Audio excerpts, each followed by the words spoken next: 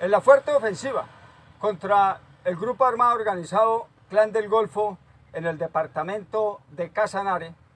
en las últimas horas se logran dos importantes capturas de esta estructura. Una de ellas, alias Camilo, cabecilla de la subestructura armada del Clan del Golfo en esta región del país, y alias Joan, cabecilla regional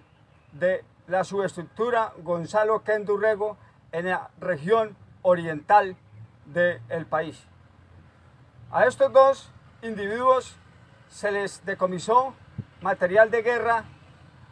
pistolas, municiones, una estación de comunicaciones, celulares vitales para futuras operaciones contra esta estructura. En la ofensiva, la octava división,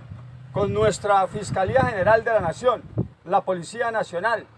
la Fuerza Aérea y la Armada Nacional, llevamos 19 integrantes de estas estructuras capturados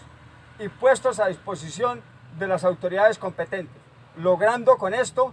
un desmantelamiento grande a la, subestructura de cabecillas y a la estructura de mando y control